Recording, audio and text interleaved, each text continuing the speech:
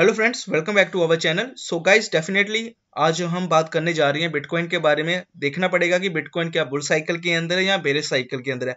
उसके बारे में आज हम बात करेंगे अपने इस वीडियो के अंदर। और डेफिनेटली अगर आप मेरे चैनल पर न्यू है तो डेफिनेटली आप लाइक सब्सक्राइब कर दीजिए। और अगर किसी को भी कोई भी प्रॉब्लम आती है तो डेफिनेटली आप हमारे चैनल के लिंक से टेलीग्राम ग्रुप को ज्वाइन कर सकते हैं, जिससे अगर आपको किसी भी प्रकार की कोई भी प्रॉब्लम है, कुछ भी आपको क्रिएट करने के अंदर प्रॉब्लम आ रही है जैसे वॉलेट क्रिएट करने के अंदर प्रॉब्लम आ रही है या कुछ भी किसी भी कॉइन्स के बारे में अगर आपने पूछना है तो डेफिनेटली आप हमारे टेलीग्राम ग्रुप के ऊपर हमें ज्वाइन कर सकते हैं उसका लिंक आपको डिस्क्रिप्शन के ऊपर मिल जाएगा। तो अभी बात हम बिटकॉइन के ऊपर करने जा रहे हैं तो अभी आप देख सकते हैं ये बिटकॉइन का मैंने चार्ट क्रिएट किया हुआ है।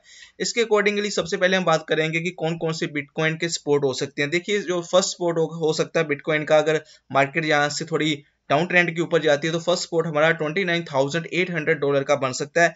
अगर आप कोई बंदा यहाँ पर बाइंग करना चाहता है डेफिनेटली मैं हाईली रिकमेंड करूँगा सारे स्पोर्ट्स के ऊपर आप थोड़ी थोड़ी बाइंग कर सकते हैं। सो सेकंड स्पोर्ट हमारा हो सकता है ट्वेंटी फोर थाउज़ेंड डॉलर के अकॉर्डिंगली क्योंकि ये यहाँ पर थोड़ा सा आप देख सकते हैं, यहाँ पर थोड़ी ट्रेडिंग हुई थी इसका ये स्पोर्ट बन चुका है। तो नेक्स्ट जो अगला स्पोर्ट होगा स्पोर्ट नंबर थ्री होगा वो ऑलमोस्ट जो लास्ट ऑल टाइम हाई था बीटीसी का 19,500 डॉलर के अकॉर्डिंगली अगर आप कैलकुलेट करेंगे तो मोटा मोटा अगर आप लेकर चल सकते हैं ट्वेंटी थाउज़ेंड डॉलर एक तीसरा स्पोर्ट बन सकता है। तो ये होगी स्पोर्ट्स की बात की यहाँ तक अगर प्राइस गिरता है तो यहाँ तक ये हिट कर सकता है। अगर किसी बंदे ने अगर बीटीसी को बाय करना है तो वो इसको पार्ट्स की अकॉर्डिंगली इसके ऊपर अपनी बिट अभी लगा सकता है और वेट कर सकता है कि मार्केट यहाँ पर आ जाए। कंफर्मेशन मार्केट यहाँ तक गिरेगी या नहीं गिरेगी, ऐसा मैं प्रिडिक्ट नहीं कर सकता क्योंकि बहुत लोगों के पास यूएसटीटी भर भर के पड़ा हुआ है। तो डेफिनेटली वेल्स आपसे ज़्यादा अंडरस्टैंडेबल है। उनको पता है कि लोगों के पास बहुत ज़्यादा यूएसटीटी पड़ा हुआ और वो बीटीसी बाय करने के लिए लोग तैयार हैं। तो वो डेफिनेटली इनसे उल्टा ही करेंगे जो अभी तक का जो मेरा एक्सपीरियंस है इस मार्केट के अकॉर्डिंगली तो ये बात होगी स्पोर्ट्स की स्पोर्ट के बारे में। अभी हम बात करते हैं कि देखिए, अभी आपके सामने ये बीटीसी का चार्ट है। इसके अकॉर्डिंगली अभी आप देख सकते हैं कि ये बहुत बड़ा एक हेड एंड शोल्डर का पैटर्न क्रिएट हो रहा है। जैसे किसी अगर आप इसको गूगल के ऊपर भी सर्च कर सकते हैं, कुछ नहीं करना हेड एंड शोल्डर का पैटर्न आप देख वो कैसा होता है, ये छोटे छोटे चार्ट्स आपको अवेलेबल हो जाएँगे। इसके अकॉर्डिंगली आप देख सकते हैं कि मार्केट बार बार बेरिश गई है इस चार्ट के अकॉर्डिंगली तो यहाँ पर ये फुलफिल होगा या नहीं होगा, ये तो अब देखने वाली बात होगी, क्योंकि ज़्यादा चांसेस होते हैं कि मार्केट यहाँ से ऐसे निकल के नीचे को आए।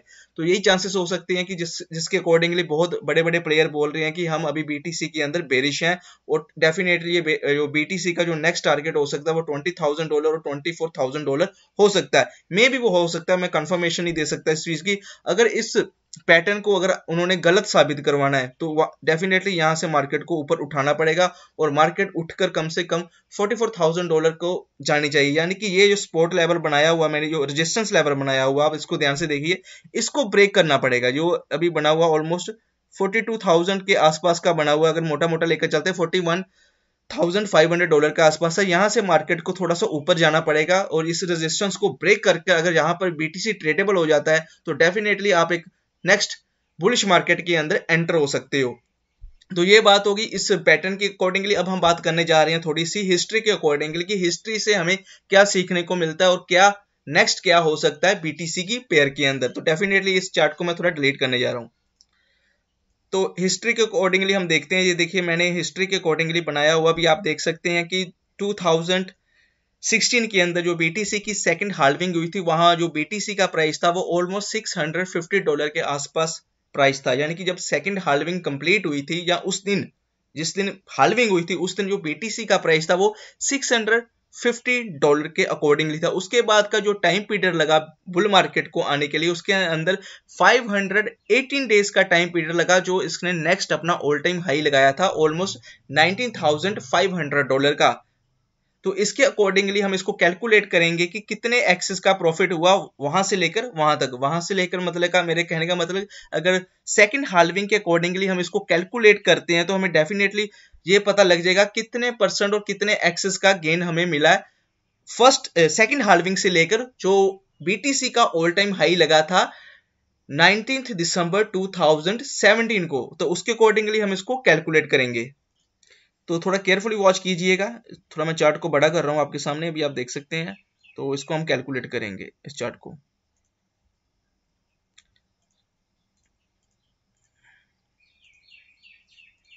तो डेफिनेटली हम इसको पहले सिक्स हंड्रेड फिफ्टी डॉलर के आसपास लेकर आएँगे चार्ट को।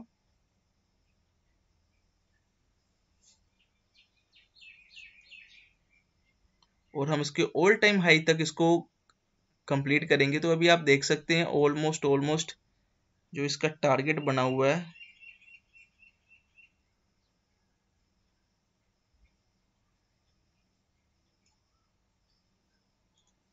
सो आप देख सकते हैं कि 2870 परसेंट का गेन हुआ था। 650 डॉलर से लेकर ऑलमोस्ट ऑलमोस्ट यहाँ तक almost almost two hundred two thousand nine almost twenty nine hundred बोल सकते हैं हम। Two twenty nine hundred percent का गेन हुआ था सिक्स हंड्रेड फिफ्टी डॉलर से लेकर। तो इसका, इसके अकॉर्डिंगली हम इसको कैलकुलेट करके भी देख लेंगे कि ये कितने एक्सेस बनता है कि six five zero into thirty X के अकॉर्डिंगली हमने कैलकुलेट किया। कहने का मतलब ये हुआ कि थर्टी एक्स का गेन मिला था लास्ट हालविंग जो सेकंड हालविंग से लेके ऑल टाइम हाई तक। अभी इसी के अकॉर्डिंगली हम जो नेक्स्ट नेक्स्ट जो मूवमेंट है, उसके अकॉर्डिंगली हम इसको कैलकुलेट करने की कोशिश करेंगे। ये आप देख सकते हैं कि जो बीटीसी जो थर्ड हालविंग हुई थी, उसका जो प्राइस अभी आप देख सकते हैं, इसका प्राइस जब जब बीटीसी की थर्ड हालविंग हुई थी तो उसका प्राइस 8500 डॉलर के अकॉर्डिंगली था, और इसको हम कैलकुलेट करेंगे एज सेम जैसे हमने जो लास्ट चार्ट अपना कैलकुलेट किया, उसके अकॉर्डिंगली हम इसको कैलकुलेट करेंगे कि ये कितने परसेंटेज का हमको गेन दे सकता है। तो उसके लिए आपको केयरफुली वॉच करना पड़ेगा। फिर से हम हम अपना प्राइस रेंज चार्ट उठा लेंगे।